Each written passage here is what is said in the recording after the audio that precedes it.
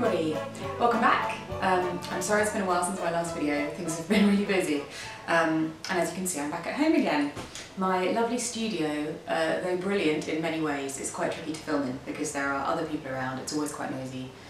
I feel like a bit of an idiot sitting talking to myself in my room, or at least that's what they think I'm doing. I'm talking to you, but they don't know that. So I decided I'd come back and do some more filming here because it's probably a little less interruptible.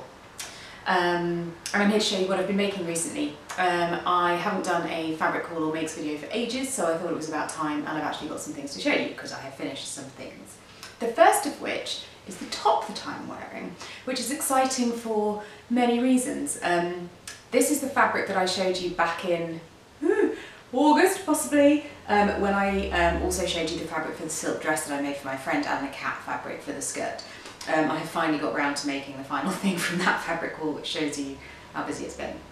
Um, but this top is important because um, I have started learning how to pattern draft and this is the first thing I have designed and made myself, um, which I'm quite excited about. Uh, it is um, a very simple top but it was based on a moulage that I made to fit myself. Uh, for those of you that don't know, a moulage is a very close fitting it's essentially a form of your body but made out of fabric, so it's skin tight. You wouldn't wear anything made from that unless you really wanted very skin tight. Um, but then you use that to create a, uh, you add some ease to it and from that you can create your patterns. It means that everything fits you really beautifully. Um, and this top fits me really beautifully. Uh, it's a it's a very simple top, um, but it's a boat neck. It's got French darts in the front and then in the back. Just turn around so you can see. Uh, the back is very simple, so all I did was, um, so the moulage does have darts in the back, but I uh, I just um, uh, trim them off the edges, there's no darts in the back other than at the, at the shoulder. So that's number one, and um, it signals a bit of a shift in the sort of things that I'm going to show you because I am going to start trying to draft and make stuff for me that I um, am doing rather than from a commercial pattern. I'm going to try and draft some things myself.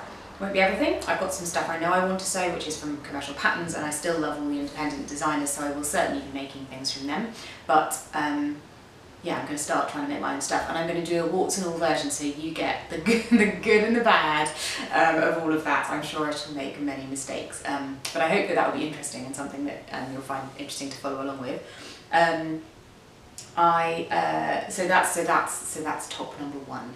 Um, so make number two, we've come from different angles, you can see it properly, um, is this, which is a uh, Simple Sew pattern. So those of you who follow me on Instagram, uh, well now I'm part of the Simple Sew blogger network, um, and that means that I've been making a few Simple Sew patterns recently, which was a new company to me, so um, I've been trying their stuff out. And this is the trench coat um, those of you who saw my New York vlog will know that this is the green waterproof fabric that I bought while I was in New York, so it has a use.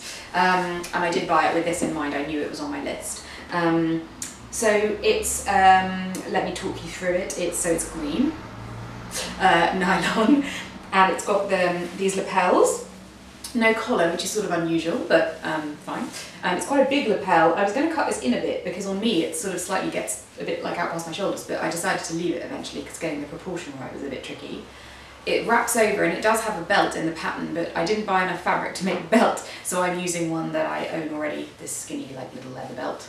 Um, and it's got pockets, which I have lined with and the lining fabric, well I've made the pockets out of the lining fabric which I shall show you in a second. Um, it's got this really flattering sort of nipped in waist and then um, pleated skirt detail and then the back is just very very plain, um, very plain on the back. So let me show you the lining. It's going to require me to undo this belt which could be interesting. Give me a second. Um, here's the lining. Ah! So this is the fabulous lining that I bought in New York and has been put to good use and the colours go so well. Um, yeah, I had to do a little bit of patchwork on the lining. The beady-eyed amongst you will see there's a little bit of a seam running here. Didn't have quite enough to cut out the pieces so I had to patch it together a bit but I don't care. Um, and I, uh, the pattern itself doesn't come with instructions to line it so I, I lined it myself and I've done my um, trick of finishing the bottom off with, um, with lace uh, on the lining, which looks amazing. Um, so it's hand hemmed. Oh, hemming waterproof fabric by hand is really painful. It is really tough and the needle does not like going through it, but I got there eventually. So this is, uh, yeah, so this is make number two. Simple Sew coat, which I do love and has been worn um, on the less cold days in London. It's getting chilly now, um, but great for autumn and, and spring. Um, and I'm really glad I made it waterproof because it means that it's going to be really practical too. So, Simple Sew coat. Which if you spin, was fun spinning. So final make is um, another simple sew pattern. Um, I've been making a few and I've not vlogged any of them, so sorry, it's a slight uh, concertina of simple sew things. Um, this is from, oh, got fluff on me. This is from the duo of skirts um, pattern from Simple Sew. And this is the tie waisted skirt. Um, but I've put the tie at the front because I prefer it like that. Um, this is made from a Melton wool that was very kindly given to me by Abakhan to make this. It's gorgeous fabric. It's almost like felt um, in that it's very smooth and it's very dense and it has, but it's got a lot of, still got some drape to it and I just think it works, works really well with the pleats in the skirt. And it's one of the fa my favourite things that I've made I think probably this year, I just love it. Um, it's, uh, it's a lovely shape, it tapers in at the bottom, I just think it's a really unusual um, design and I really love it. So I wanted to show you this. So yes, this is the Abakhan wool simple sew duo of skirts tie back waisted skirt. Say that when you're drunk. Um, yeah, so that's the so that's the last one. This is the this is the final thing that I've made this month. So that's it from me. Have a great rest of week and I will see you again soon.